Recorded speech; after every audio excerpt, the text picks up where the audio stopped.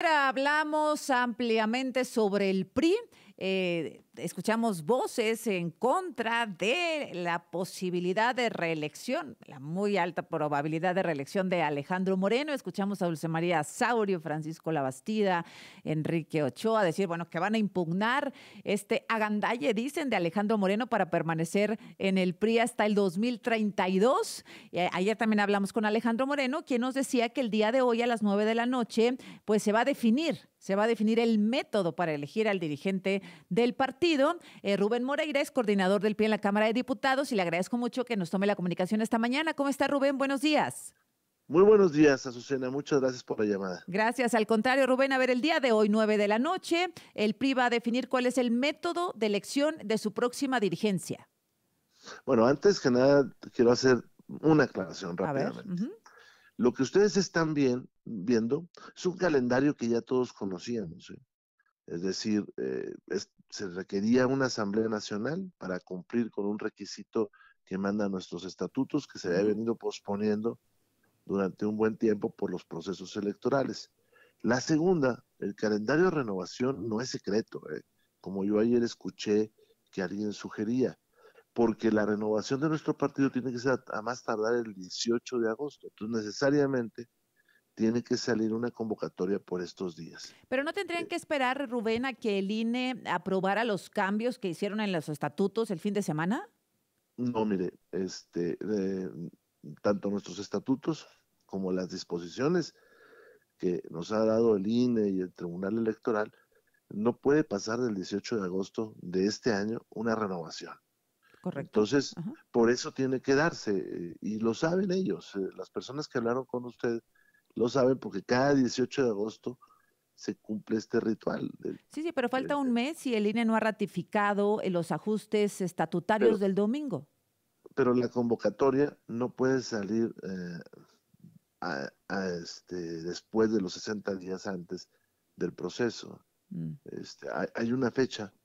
Eh, que tiene que salir antes del día del proceso. Por eso están viendo ese tipo de cosas. Ahora, si usted me lo permite, la Asamblea Nacional determinó eh, otras cosas eh, que me llama la atención que mis compañeros no pongan sobre la mesa y que si ellos estuvieran en la posición de Alejandro no lo hubieran permitido.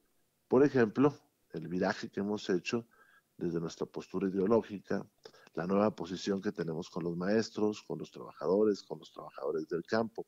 Y otra cosa muy importante, que es un mandato de esta asamblea que recién termina, de que se abra un periodo de reflexión a partir del mes de septiembre para afinar el rumbo de nuestro partido. Correcto. Eh, esto, no, esto no hubiera sido posible eh, si tuviéramos algunos de estos personajes pues dirigiendo el partido, porque ellos lo impidieron durante mucho tiempo. Bueno, entonces, a ver, Rubén, ¿hoy se define el método? Hoy se define el método y se autoriza que salga la convocatoria. Esto lo hace otro órgano de nuestro partido. Así es en, todas partes. ¿Hay tres eh. posibilidades de método, militancia, consejeros, asamblea? ¿O cuáles son las posibilidades? Eh, militantes y simpatizantes, eh, consejeros y asamblea de delegados. Le quiero decir que en la historia del partido solamente ha habido tres presidentes y secretarias o secretarios que han llegado con el apoyo de la eh, militancia de los, eh. militantes y simpatizantes, que son Roberto Madrazo, Beatriz Paredes, que fue convención de delegados, y, eh, Alejandro. Moreno. Todo el resto entraron por otro tipo de procedimientos. ¿Esto sería la posibilidad mayor, es decir, que fueran militantes y simpatizantes la votación? Pues se tiene que definir ahí cuál de las, de las tres hay. ¿Militantes y simpatizantes quiere decir abierto a la ciudadanía? Abierto a la ciudadanía, este, perdón, es militantes, ¿eh? no simpatizantes, es eh, militantes. ah, bien, o sea, solo militantes del PRI, que son, ¿cuántos, ¿cuántos millones tienen? Un millón y medio, más o menos, un millón seiscientos, efectivos. Un millón y medio, ellos son los que podrían votar.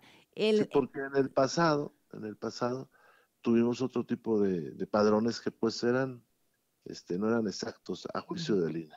Un millón, pasadito de un millón. ¿Sería la elección e, en agosto? Tiene que ser antes del 18 de agosto. Antes del 18 de agosto. Eh, los requisitos para poderse inscribir en esta competencia que parece ganada de antemano por Alejandro Moreno Rubén, ¿cuáles son? ¿Quiénes más pueden competir? Primero, primero déjenme le cuento. este, no se votó una reelección. No, se cambiaron los estatutos para que se permitiera una reelección. No, permítame. Lo que se hizo fue quitar un candado, como se han quitado otros. Por ejemplo, se quitó el candado para que pudiera ser Pepe mi candidato, se quitó el candado para que nosotros nos saliéramos con Acción Nacional. Se quitaron muchos candados.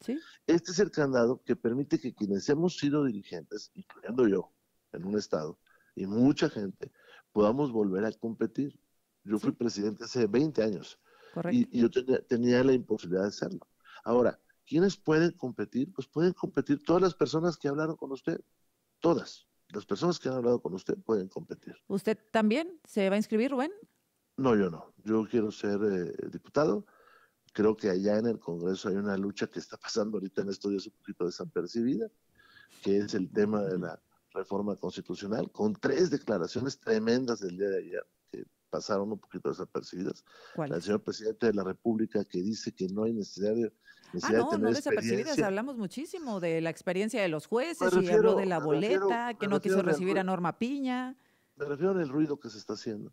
La otra es de Juan Ramiro Robledo, que dice que los tratados internacionales tienen que terminar, ya no pueden ser eh, la cúspide de nuestra resolución, es decir, quitarles el valor constitucional los tratados internacionales en materia de derechos humanos. Es un golpe terrible. Y las otras dos rápidas se las digo. Cantón Cetina y el, el, ministro, el ministro Saldívar, que dicen que este arroz ya se coció. Entonces, ¿para qué nos estamos engañando? Que ya no voten. Oiga, oiga, Rubén, es Rubén Moreira, eh, miembro del Consejo Político del PRI, por supuesto, coordinador del PRI en la Cámara de Diputados. Ahora, Alejandro Moreno se va a quedar con la dirigencia y con la coordinación del Senado. Mire, él tiene que decidir primero si quiere competir. Y, eh, pero pues sí, perdóneme, pero los estatutos tenían destinatario, ¿no? Pues Alejandro Moreno. A ver, el cambio. A ver, él tiene, él tiene que decidir si quiere competir. Ahora, estamos en una situación muy distinta al pasado. Si usted me permite, le cuento una anécdota rápido de alguien que habló ayer con ustedes. Ajá.